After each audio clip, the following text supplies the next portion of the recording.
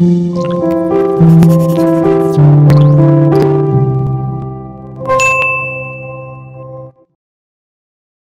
cách Thùy Linh. Xin chào đón tất cả quý vị và các bạn đang đến với chương trình Đồng ý hẹn hò.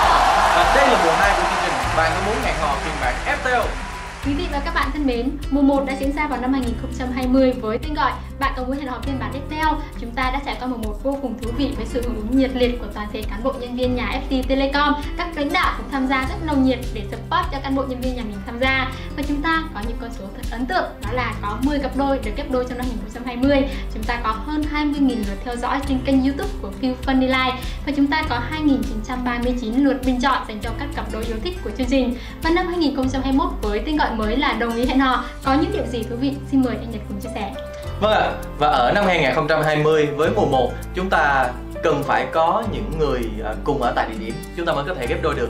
Thì ở mùa 2 này chúng ta có một sự thay đổi đó là những à, người tham gia vào chương trình chỉ cần ngồi tại nhà của mình cũng có thể tìm được một nửa của mình. Và với format này thì ban tổ chức mong muốn mở rộng thêm đối tượng để biết đâu đó bạn có thể tìm được một nửa của mình trong FPT Telecom trên toàn quốc. Và bên cạnh đó khi à, ban tổ chức à, triển khai format này thì cũng đã mở rộng cho tất cả cán bộ nhân viên trên các công ty thành viên của tập đoàn FPT chúng ta có thể tham gia. Và với uh, cơ hội đó thì có lẽ 40.000 người của FPT chúng ta cùng nhau có thể tìm được nửa của mình ngay chính tại chương trình đồng ý hẹn hò. Và còn chờ gì nữa ngay bây giờ chúng ta sẽ cùng nhau đến với chương trình đồng ý hẹn hò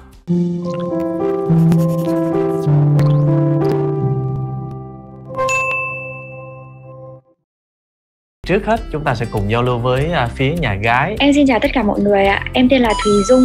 Em là một cô gái đến từ Thái Nguyên ạ. À, hiện tại công việc của em thì đang làm trong mảng truyền thông marketing. À, em là một cô gái sống hướng ngoại và năng động, à, thích đi giao lưu gặp gỡ nhiều người, à, thích các hoạt động, các cuộc thi.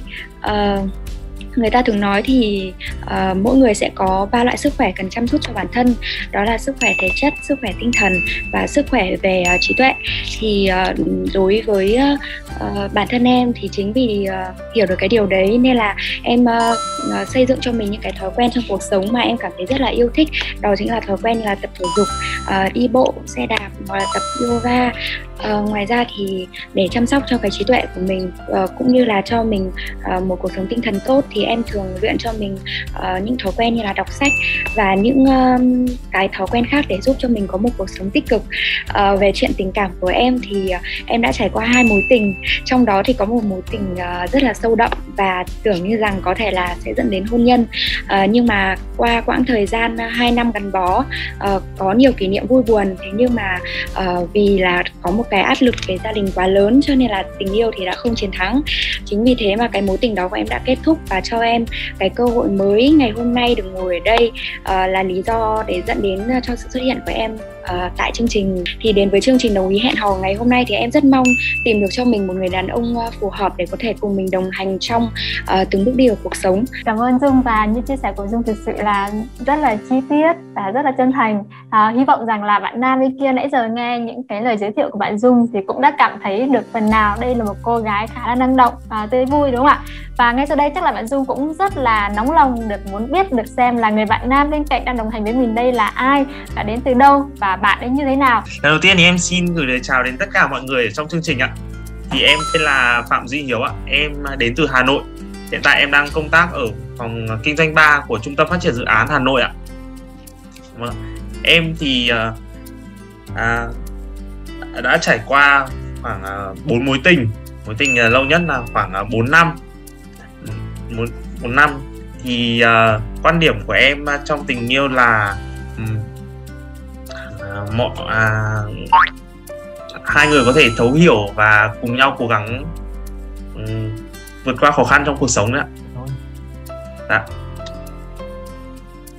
Thì uh, đến với chương trình ngày hôm nay thì em rất mong là tìm được một người bạn nữ uh, phù hợp và có thể uh, đồng hành cùng mình trên con trên uh, những uh, chặng đường sắp tới á trong các thông tin của Hiếu chia sẻ thì chúng ta có thể thấy là à, thật ra Hiếu cũng à, cũng giống như Dung có những cái à, sự trải nghiệm trong các mối tình trước cũng như là chúng ta cũng mong muốn tìm được một người phù hợp à, ở trong cái chương trình đồng ý hẹn hò này.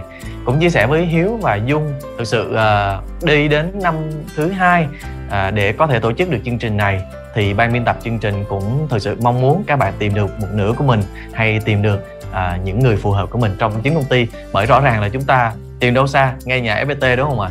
Và ngày hôm nay hy vọng là Dung và Hiếu sau những chia sẻ của mình thì cũng có thể tìm được cái sự phù hợp của hai bạn nhé À, Dung ơi, à, Dung ở Thái Nguyên, vậy thì bây giờ Dung đang ở đâu tại Hà Nội? Hiện tại thì em đang ở khu vực uh, quận Hai Bà Trưng, em ở gần uh, trường học viện ngân hàng anh ạ. Hiện tại thì Dung đang ở đây với ai? Em ở cùng một người bạn cấp 3 của em. Rồi. Hai đứa thân. Dung ngày hôm nay tham gia chương trình thì có chia sẻ với người bạn của mình và được người bạn cho những lời khuyên gì không ạ?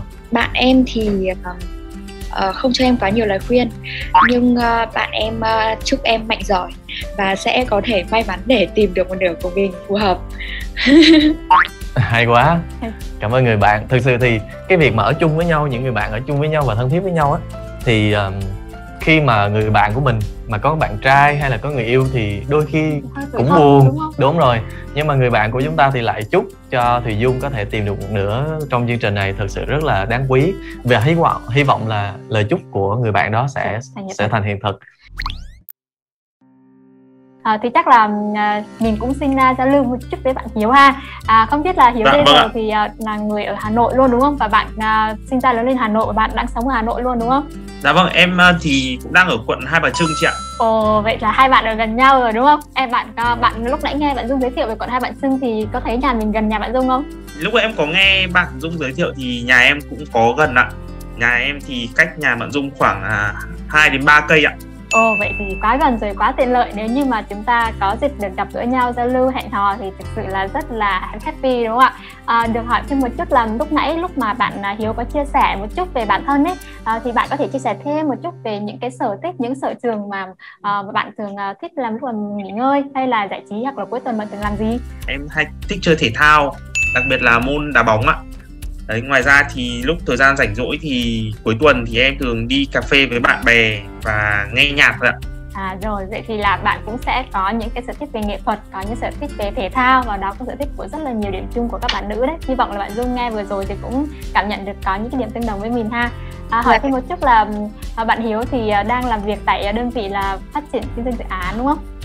Dạ vâng đúng rồi chị ạ em đang làm ở phát triển kinh doanh dự án ạ. À, với công việc của mình thì bạn có sắp xếp được thời gian nếu như mà có một ờ, tình yêu và cần phải hẹn hò không? Dạ em nghĩ là em ờ, có thể cố gắng sắp xếp được ạ. Và hỏi thêm một chút nữa là thường bạn nữ thì rất là thích được uh, quan tâm chăm sóc này. Thích được uh, được chiều chuộng một chút xíu. Thì uh, không biết là bạn Hiếu có uh, có có thích là mình sẽ quan tâm chăm sóc người người yêu của mình hay là bạn nữ của mình không? Dạ em cũng có ạ Rồi, hay quá. sẵn sàng làm mọi thứ vì người yêu của mình đúng không? Ngay như vậy dạ, là vâng các bạn nữ đều là cảm thấy ờ, rất là rung động rồi đó.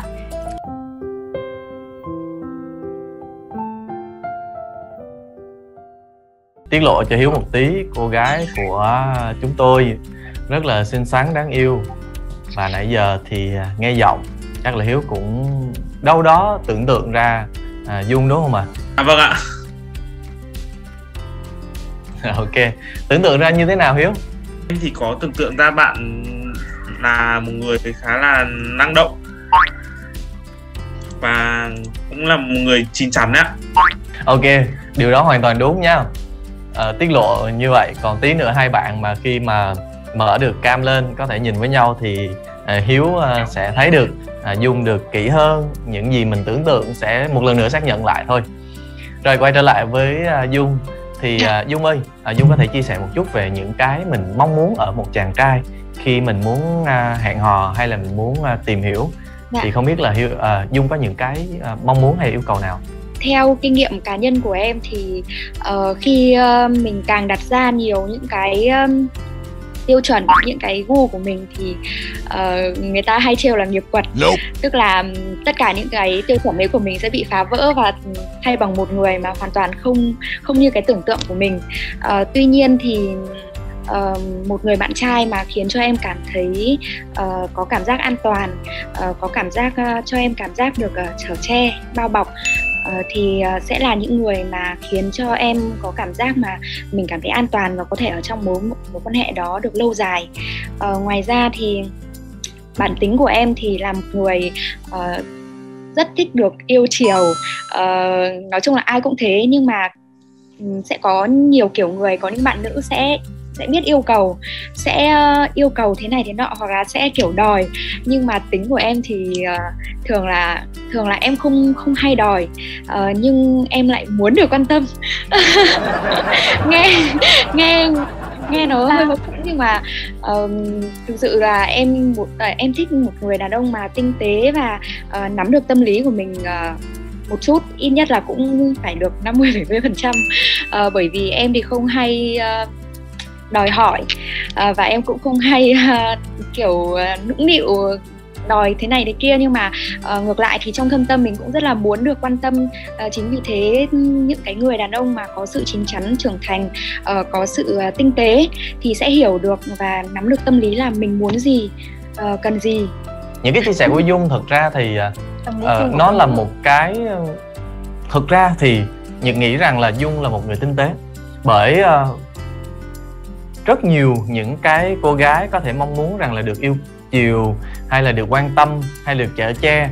Nhưng mà trong cái chia sẻ của dung thì chúng ta có thể thấy là dung uh, mong muốn ở một chàng trai có sự trưởng thành nè có sự tinh tế nè. Và trong những cái chia sẻ của dung thực ra nó đâu đó nó uh, bộc lộ lên một con người cũng là một người phụ nữ rất là tinh tế. Um, thật ra bản thân ai mà mong muốn điều gì á uh, thường người ta sẽ có cái việc đó nên là người ta sẽ mong muốn ở đối phương cũng vậy. Không biết là phần này à, nhật nói có đúng không dung?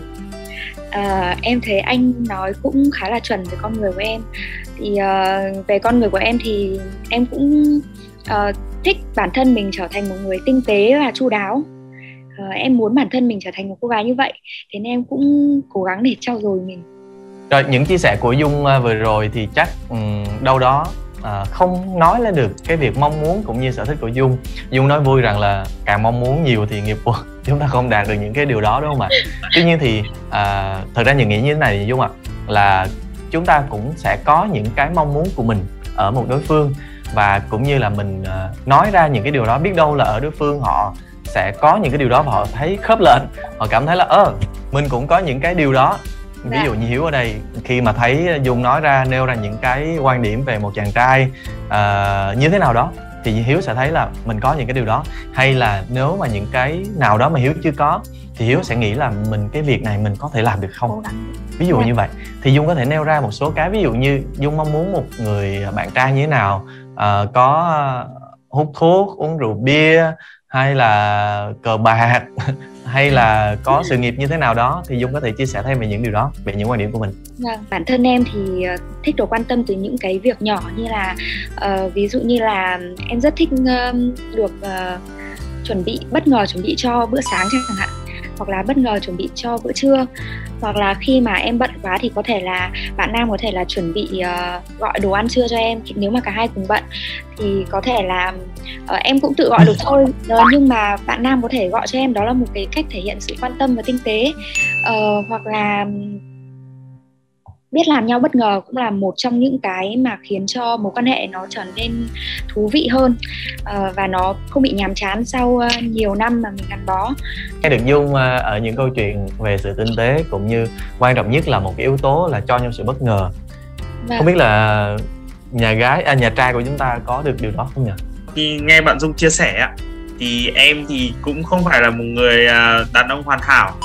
Nhưng mà em em những cái thiếu sót ạ thì em sẽ luôn cố gắng. Sau khi mà dung chia sẻ quan điểm của mình về mẫu bạn uh, nam lý tưởng rồi thì hiếu có thể chia sẻ lại uh, dung hiểu được là mong muốn của bạn hiếu về một bạn là nữ uh, trong trong mộng của bạn và một cái người yêu mà bạn mong muốn. Thì bạn có thể chia sẻ thêm được không? Em thì em cũng không đòi hỏi quá nhiều về bạn nữ ấy ạ. Thì em cũng là người khá đơn giản ấy ạ. Thì em chỉ mong muốn là anh thì bạn nữ và có thể À, đồng cảm và thấu hiểu và thấu, thấu hiểu uh, gia đình cũng như là công việc mà của hai người đang làm ạ. À, ở hiếu tôi có thể đọc vị được là một chàng trai um, có sự trưởng lành thành có sự uh, chín chắn.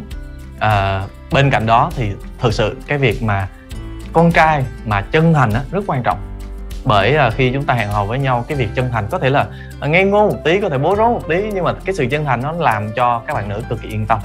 Và tôi nghĩ rằng nên um, chọn những người chân thành như vậy. Và tôi thấy hiếu là một người như vậy. Dạ em cảm ơn anh ạ. Chắc là chúng ta nên dành thời lượng để cho hai bạn gặp gỡ nhau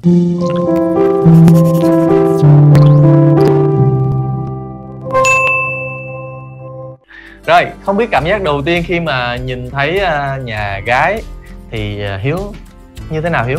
Có giống như mình tưởng tượng không hiếu? Dạ cũng có ạ. À, đang uh, gặp dung bối rối thêm hả? Dạ. Rồi à, còn dung sau khi mà thấy uh, hiếu thì à, thấy như thế nào? Có giống như mình tưởng tượng nãy giờ không?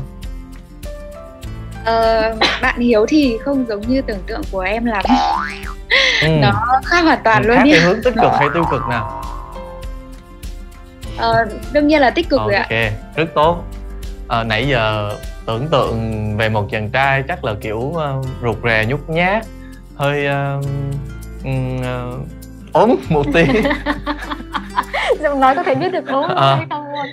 Tuy nhiên thì uh, nhìn thấy hiếu cũng đố con đúng không? Cũng đẹp trai đúng không? Chơi đúng thể thao mày chơi thể thao Ừ. là một người rất là đẹp Ban nãy thì em có tưởng tượng là bạn Hiếu sẽ mặc một cái áo sơ mi trắng ờ, Nhìn rất là hiền lành và kiểu chất phác thật thà. Ok nhưng mà bây giờ thì chúng ta thấy được uh, rõ ràng trong bên trong là một con người chất phát chân thành nhưng bên ngoài là một chàng trai cũng rất là đẹp trai à, đứa con và quan trọng nhất là có thể che chở mình đúng không Dung? Ok thôi chắc là chúng ta sẽ dành thời lượng cho hai bạn. Rồi. Nhưng trước khi mà hai bạn tìm hiểu với nhau ừ. à, có lẽ là chúng ta à, có một bất ngờ đúng dành cho rồi. hai bạn đúng không ạ? Xin mời linh. Không biết là bây giờ hai bạn có nghĩ là mình sẽ nhận được một cái gì đó bất ngờ từ người còn lại không nhỉ? Em đang rất ờ, tò mò Rất tò mò thì bây giờ chắc là nhường cho bạn à, nữ trước ha. Xin mời. Trên tay của Dung thì mình đang thấy là có món quà của Hiếu đã đến được tận tay rồi thì không biết là Hiếu có chia sẻ gì khi tặng món quà này cho Dung không? À em thì chắc em cũng không có chia sẻ gì ạ. Thì em để để cho bạn bất ngờ đúng không? Vâng để cho bạn bất ngờ ạ. Ừ, đúng rồi. Ý của hiếu là hiếu muốn à, dung sẽ phải tự mở ra sau đó thì hiếu sẽ chia sẻ sau. Về món quà này? Chắc là không đợi lâu nữa xin mời dung có thể mở món quà của hiếu dành cho dung. Ờ, ừ. Rất là, thực sự là rất là bất ngờ ạ Đây gói quà rất là cẩn thận đúng không? hiếu ơi có được à, mở luôn không hiếu? Dạ vâng dạ được anh ạ. Ừ. thế thì nhờ dung mở nha. Dạ. Ăn bóc món quà. Ờ, Món quà này có chiếc nơ màu xanh rất là hợp mệnh với em. Ồ, thần giao cách cảm rồi. Em mạng thủy hả dung? Vâng ạ. Hiếu mạng gì hiếu? Em cũng mạng thủy ạ hay quá Hay quá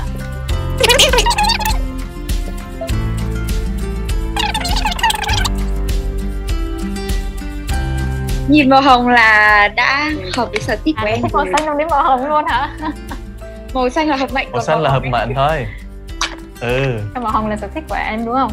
à, Chiếc cốc rất là xinh ạ rồi Rồi. chiếc cốc rất xinh đúng không ạ Vâng Chúc mừng Dung đã nhận được món quà Dung. rất là dễ thương bất ngờ từ Hiếu nhá hiếu có nghĩ là ngày hôm nay mình sẽ nhận được một món quà bất ngờ không? Ừ, dạ em cũng đang rất hồi hộp ạ. Ok. Và bây giờ chắc chúng ta đến với món quà của Dung dành cho Hiếu ha. Ừ.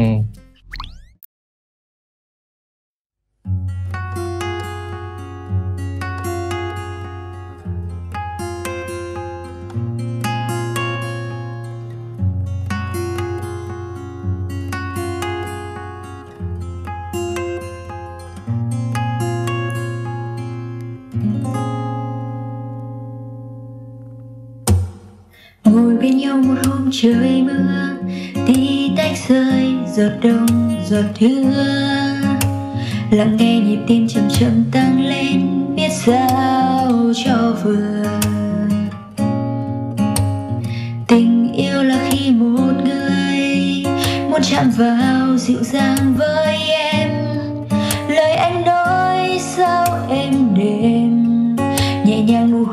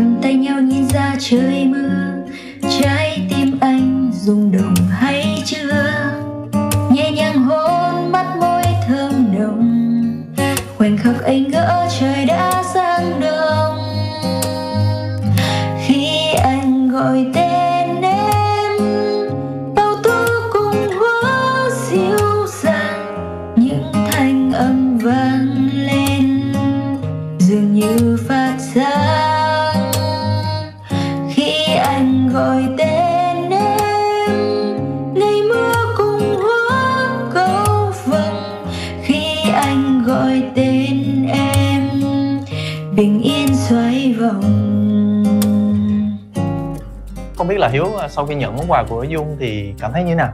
Em thì đây là lần đầu tiên có người hát tặng cho em một bài như thế. Nên em cảm xúc ra rất sao? là thích ạ. Em rất là thích ạ. Ừ. dung hát hay không hiếu? Dạ, có ạ, bạn ý hát rất là hay ạ. Ừ, tuyệt vời. Tôi nghĩ rằng là để tìm được một người à, con gái hợp với mình à, về những cảm xúc thì rất là tuyệt vời nhưng mà để tìm được một người con gái hợp với mình sau đó lại còn hát hay như dung để mà mỗi ngày chúng ta có thể là nghe hát. À, những lúc mà chúng ta buồn hay là bên cạnh như thế này thì cũng rất là tuyệt vời. Và ngày hôm nay khi mà gặp nhau thì dung đã tặng cho hiếu một món quà à, mở đầu cái buổi gặp nhau cái buổi hẹn hò như thế này. Thực sự rất là ấn tượng với dung. Cảm ơn dung rất nhiều về món quà dành cho hiếu. Và bây giờ là sẽ dành thời gian để cho hai bạn có một cái khoảng thời lượng trò chuyện với nhau về à, những cái thông tin mà mình chưa hiểu được ở đối phương cũng như những cái gì mình muốn xác nhận lại ở đối phương như thế nào. Thì à, dung và hiếu lưu ý là cái khoảng thời gian này rất ngắn nha. Nên là hai bạn cố gắng tìm hiểu với nhau và chia sẻ với nhau thật nhiều điều những gì mà bản thân mình cảm nhận trước khi chúng ta đi đến những quyết định ở phía sau. Xin mời hai bạn.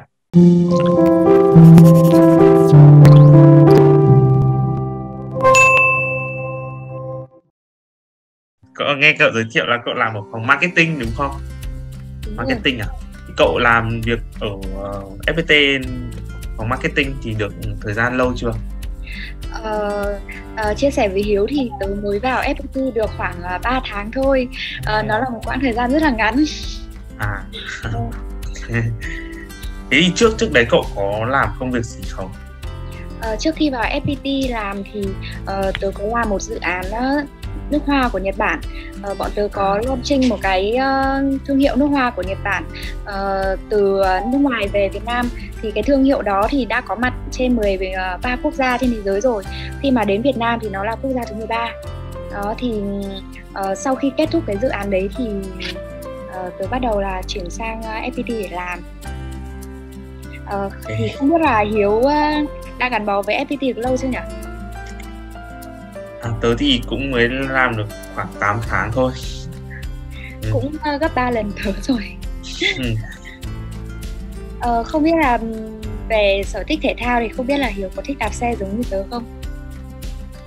Có tớ có thích đạp xe. Tớ thích ờ, tớ thích vận động. Đi bộ, đạp xe, đá bóng. Ừ. Ờ, thích vận động như thế thì không biết là cậu có thích kiểu đọc sách không nhỉ? Bởi vì là thường là những cái người năng động sẽ ờ, ngại cái việc ngồi một chỗ để đọc sách và nghiền ngẫm ý. Ờ đúng cậu nói đúng. Tớ tớ cũng ít đọc sách. Ờ, Ừ. thế ngoài ra về quan điểm về true love trong tình yêu của cậu là gì? quan điểm của tớ về true love trong tình yêu thì là mọi hai hai hai người cùng thấu hiểu nhau và cố gắng cố gắng cố gắng vì nhau thôi. Còn về về để mà tớ tớ cũng không hay nói về tương lai lắm ấy. Ờ. tớ không không nói trước điều gì. Tớ tớ hay hay tớ không không hay nói trước. Thì uh, quan điểm của tớ là chân thành. Ừ. với chân thành và ừ, thấu hiểu nhau trong ờ, tình yêu là là Ờ, điều quan trọng không biết là Hiếu có biết nấu ăn không? Và có thích việc nấu ăn không?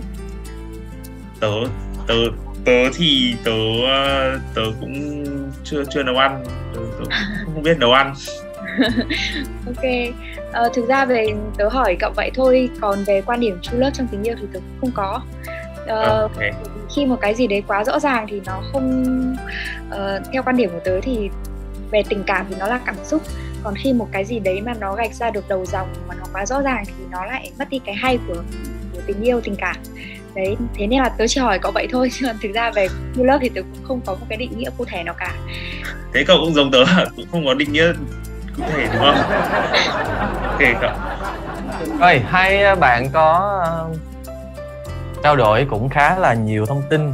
Tuy nhiên thì uh, uh, có vẻ là cũng uh, có những cái ngại ngùng nhất định của mình đúng không ạ? À? vì uh, cũng mới gặp với nhau uh, có những cái sự ngại ngùng. Không biết là dung cảm thấy là sau cái phần chia sẻ của hiếu thì dung có uh, vẫn cảm thấy rằng là hiếu là một người mà uh, chất phát hiền lành như cái mình tưởng tượng hay là khác đi hay như thế nào? Em cảm thấy bạn hiếu khá là dễ thương. Uh, tuy không nói quá nhiều nhưng mà chính vì cái sự uh, gọi là ngây ngây ngô thì không hẳn. Gọi là vì cái những, những cái hồi hộp đấy mà mình cảm thấy rằng là bạn ý uh, khi mà người ta nghiêm túc thật sự đúng như anh Nhật nói khi mà nghiêm túc thật sự rồi là khi người ta cảm thấy hồi hộp tức là người ta đang uh, tức là người ta đang cảm thấy là gọi là như nào nhỉ? Khó dùng từ để nói quá. Em không phải MC giống như anh Nhật. uh, nhưng mà anh em hiểu. bạn bạn đã rất là dễ thương. Rồi rõ ràng chúng ta có thể thấy là bạn rất là dễ thương và hiền lành à, giống như những gì mà chúng ta suy nghĩ.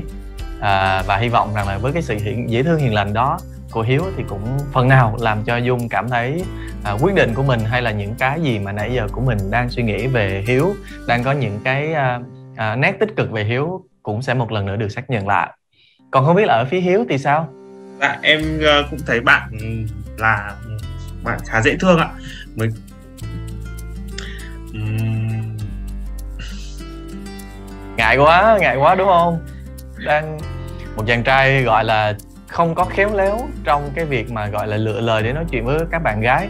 Nhưng mà à, thực vâng, sự chân thành khuyên uh, dung đang là một người mà uh, đứng trước cái sự uh, quyết định cùng với lại hiếu thì những người mà không giỏi trong những lời nói thì thường họ có thể họ sẽ có những cái hành động bất ngờ dành cho dung à, mang lại những cái cảm giác ấm áp. Tất nhiên là đôi khi có những cái lời nói nó cũng có cánh giúp cho mình cảm thấy yên tâm đúng không ạ? Nhưng mà cái quan trọng nhất là sự hành động. Mà ở hiếu thì mình tin rằng có sự hành động đúng không ạ?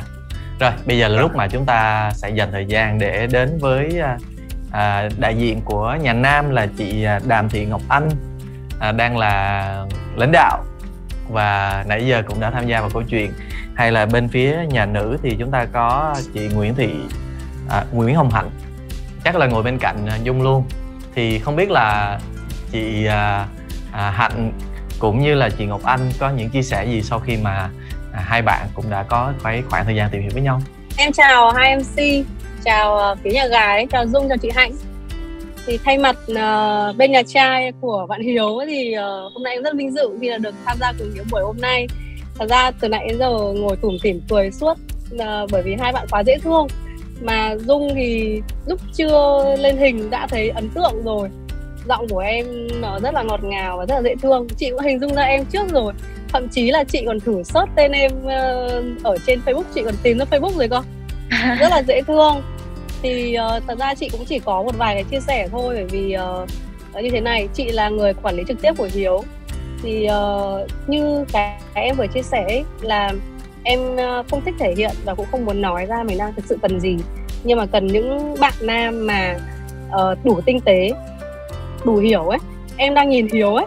Không phải là nhân sự của chị thì uh, chị khen đâu nhưng mà em đang nhìn hiếu như thế nào thì bạn ấy bên ngoài bạn y hệt như vậy. Bạn ấy không phải là bạn đang rất ngại đấy. Thì thật là là hiếu đang rất là ngại. Ở đi làm bạn ấy cũng như vậy. Ừ, lúc nào cũng tê tét cười lúc nào cũng tủm tỉm. Và thậm chí là hỏi cái gì cũng uh, vâng vâng cười thôi. Nhưng mà lúc nào anh chị cần là lúc nào có mặt. Nên là chị thấy là những cái gì mà hiếu đang thể hiện ra hôm nay chị thấy đúng là cái bản chất của bạn ấy luôn. Bạn ấy có thể là không giỏi nói nhưng mà bạn ấy là một người biết hành động. Và chị nghĩ là một người đàn ông mà biết hành động thì nói hơn rất nhiều với những cái người nói nói nhiều lời hay hơn á nên là chị rất mong là nếu như thực sự hiếu đang cho em một cái cảm giác ờ, an toàn và đang cho em cảm thấy là nó có cái sự khác biệt với những cái mối tình trước thì thì chị nghĩ là là hai em thực sự lên tìm hiểu. Bởi vì hiếu có mối tình ờ, gần đây nhất là 4 năm chị nghĩ là 4 năm nó không phải là một cái thời gian quá ngắn. Bạn đấy là thuộc tiếp khá là trung thủy đấy. Nên là chị nghĩ là nếu như hai bạn mà mà mà thực sự cảm thấy có cái gì đấy nó khớp với nhau ấy, nó hợp nhau ấy thì hai bạn hãy thử tìm hiểu nhá. Bởi vì chị chị thật sự là chị thấy hai bạn rất đẹp đôi. Cảm ơn chị Ngọc Anh rất nhiều về những cái chia sẻ cũng uh, thực sự rất là rút ruột tâm can của mình để mà bên cạnh cái việc ủng hộ cho nhân sự của mình cho đồng đội của mình à, có được một nửa nhưng quan trọng nhất là chia sẻ rất thật về con người của hiếu như vậy chia sẻ về ờ, cảm nhận với dung đúng không ạ và quan trọng nhất là ủng hộ hai bạn nên tìm hiểu với nhau à, biết đâu hai bạn thực sự là những người phù hợp với nhau. Bởi thật khó để mà có thể tìm được à, một chàng trai mà hiền lành à, chất phát rồi chúng ta sẽ đến với lại nhà gái. Chị Hạnh. Và bây giờ thì chúng ta sẽ à, lắng nghe thêm những chia sẻ từ nhà gái nhé. À, em xin chào các anh chị và chào uh, bên đằng nhà trai ạ. À. à, hôm nay em rất là vui chị. khi được uh, dung lựa chọn là người đồng hành đến đây để mà cố vấn và uh, đưa ra những cái lời khuyên cho em dung ạ? À, qua trao đổi thì em à, từ nãy đến giờ em ngồi em cười khúc khích từ nãy đến giờ bây giờ cơ mà còn đang còn đang cứng đấy không kiểu cười nhiều quá. Um, uh, uh, em nhìn uh, mới đầu ấy thì em nhìn uh, bạn nam cảm giác rất là hiền uh, tuy ít nói nhưng mà cảm thấy là uh, bạn nam um, rất là chân thành ạ. Um, còn uh, em nhìn tung ở bên ngoài như nào à, trong uh, video như nào thì bên ngoài cũng y như thế luôn bên ngoài chị thấy còn đáng yêu hơn ý uh, tuy chị và dung mới làm với nhau có 3 tháng thôi. Tuy nhiên uh, dung um, cảm thấy dung là một người rất là tinh tế uh, đáng yêu và um, có cái nhiệt huyết trong công việc ý. Chị thấy hai đứa rất là hợp đôi với nhau. Uh, nên là hôm nay đến với um, chương trình cũng rất là mong muốn phun vén và đẩy thuyền đẩy thuyền khi mà thấy hai người lại rất là hợp nữa. Nên chị cũng mong là hai đứa có quyết định sáng suốt cho nhau cơ hội uh, hò hẹn nhau. Để uh, mùa đông này mình không lạnh nữa mình có gấu ôm thì mình sẽ là mùa đông không lạnh nhá. Cố lên các em. Dạ dạ vâng em cảm ơn chị ạ. nói đúng. Rồi cảm ơn cái phần chia sẻ cũng rất là uy tín của của chị Hạnh. À, thực sự thì hai uh, người thân của chúng ta cũng đã có những lời chia sẻ và gửi gắm. À, bên cạnh cái phần chia sẻ của nhà trai là chị Ngọc Anh thì chị Hạnh cũng đã có những lời gửi gắm các thông điệp.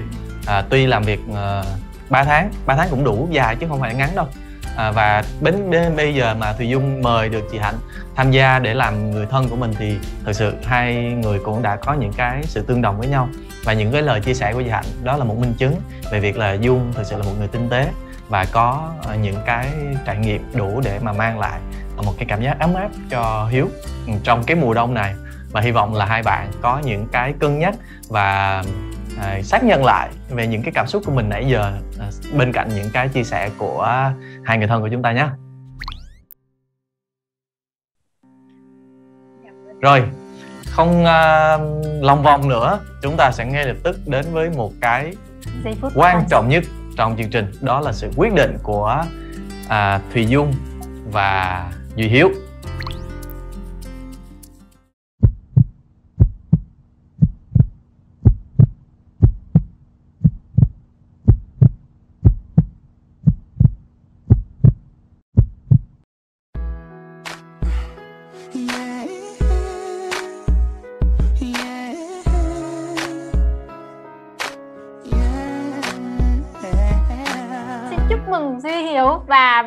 à, Thùy Dung đã thực sự là có một cái trải nghiệm rất tuyệt vời trong buổi chương trình ngày hôm nay. À, trước khi mà chúng ta đến với những nội dung tiếp theo, những cái điều cũng rất là thú vị, xin được hỏi à, Hiếu với lại Dung nhé. Thì à. hai bạn kết nối online như thế này á, và các bạn cũng có những câu chuyện cái hiểu cái uh, một chút hiểu về người đối phương, nhưng mà các bạn có nghĩ rằng là sẽ sau cái buổi này thì các bạn sẽ sớm gặp nhau offline để tìm hiểu với nhau không? Có em nghĩ là em sau buổi này thì em cũng muốn có một buổi offline với bạn để tìm đấy hiểu. quan trọng cái khúc này nè. Tôi muốn hỏi là khi nào? Có thể là sớm sớm sớm nhất có thể anh ạ. Rồi à, vậy thì hỏi dung là cái uh, sau khi mà có cái uh, việc đồng ý của hai bạn thì dung có nghĩ rằng hai bạn sẽ sớm gặp gỡ offline với nhau gặp gỡ trực tiếp với nhau để mà chúng ta có những chia sẻ sâu hơn không em thì ờ, không ngại ờ, khi bắt đầu một hành trình mới. Ờ, và hành trình mới thì luôn luôn bắt đầu bằng những bước chân đầu tiên. Cho nên là em không ngại để cái việc bắt đầu gặp gỡ để có thể thử tìm hiểu nhau. Thì em rất là sẵn sẵn lòng để có thể gặp bạn hiếu để có thể uh, tìm hiểu nhau xem là mình có phù hợp với nhau hay không. Sau cái chương trình này rồi sau cái buổi ghi hình này thôi chứ cũng không cần phải đợi lên sóng thì à, hai bạn sẽ có thể đưa ra những cái quyết định của mình là chúng ta hẹn hò với nhau một cái buổi cà phê nói chuyện. Khi các bạn là người đã đồng ý hẹn hò thì chương trình cũng sẽ có những cái điều bất ngờ dành cho các bạn. Thì không biết bây giờ các bạn có thể mở điện thoại lên và check tin nhắn xem thì mình có nhận được điều gì bất ngờ không nhá? Với việc mà hai bạn đồng ý hẹn hò với nhau thì ban điều hành của FPT Telecom cũng tặng à, mỗi bạn một số gold nho nhỏ thật nhiều niềm vui để mà chúc mừng cho các bạn với cái kết quả này. Và hy vọng là các bạn sẽ tiếp tục à, kết nối với nhau thật nhiều. Và nếu mà hai bạn đi đến cái việc kết hôn thì ban điều hành lại có một món quà dành tặng cho các bạn. Đó là cam kết của ban điều hành FPT Telecom dành cho những cặp đôi đồng ý hẹn hò và đi đến kết hôn trong công ty cảm ơn các bạn. Dạ vâng. và các bạn ơi cho chúng ta vẫn còn một cái thủ tục nho nhỏ khi các bạn đã đồng ý hẹn hò nữa. Đó là chúng ta sẽ ký xác nhận rằng chúng ta chính thức đã đã hẹn hò với nhau